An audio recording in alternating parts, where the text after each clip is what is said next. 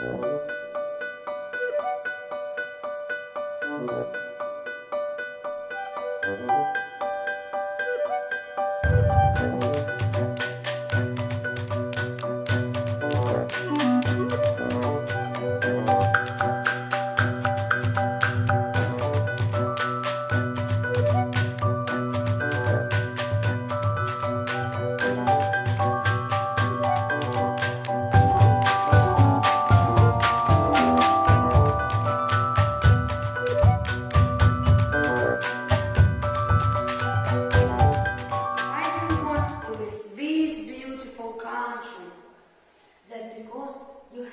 brains. We Kansas is my home. We say east, west, home's best. And it's true. I want to go to home.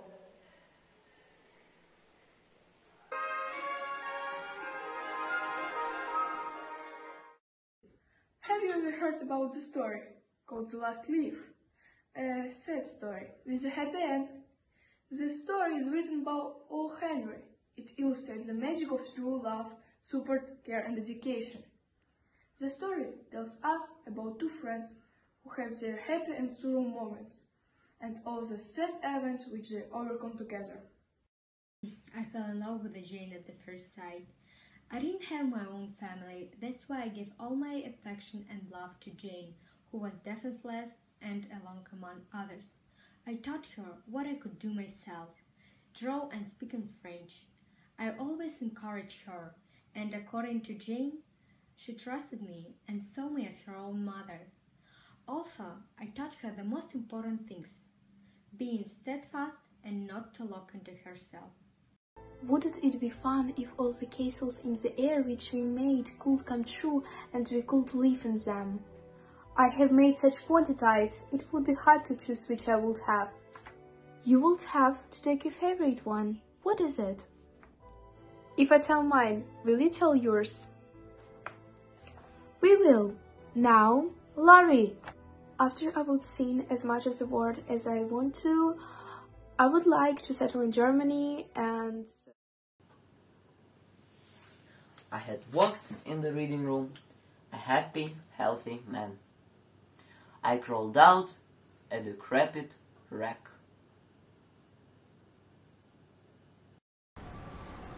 I'd like to tell the story about two desperate men who stole me in the summit, the town as flat as pan. They thought kidnapping project would bring them lots of wealth. They didn't even worry what happened to them next. It's time for me to tell you a few words of who I am. I am the son of Dorset, the most respectable man. I am a boy of ten with freckles on my nose. I'm Alabama Red Chief that everybody knows. Christmas is coming, geese are getting fed. Please put a penny in old man's heads. If you have got a penny, a half penny will do. If you haven't got a half penny, then God bless you.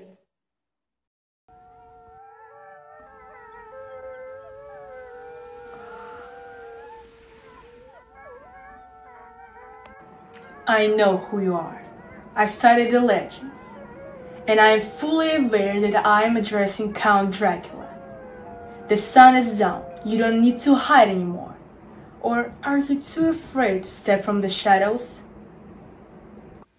I'm not sure what legends you've been reading, but bells don't have any effect on me.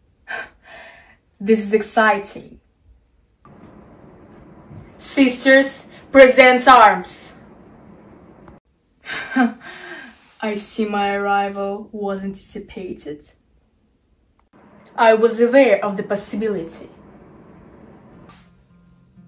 Hello, ladies.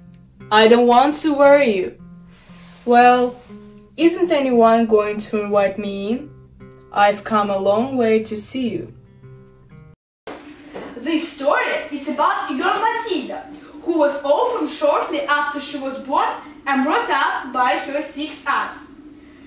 Each day of the week, she had classes with each of her aunts. Only on Sundays, Matilda was to do what she liked, except her seventh aunt for leaving to foreign lands many years ago. Thank you, Mr. Donovan. I shall be very glad to have your company. You are very kind. His name was Fernando Mazzini, and he was an Italian count. He had a lot of land in Italy and a villa. We were going to get married next spring. Fernando went to Italy to make his villa ready for us. Andrew stood up. He saw that every eye was directed towards him. He was pale.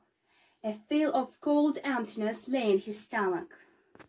He began speaking with sudden bitterness. There was a silence. A, a moment passed. What do you drink?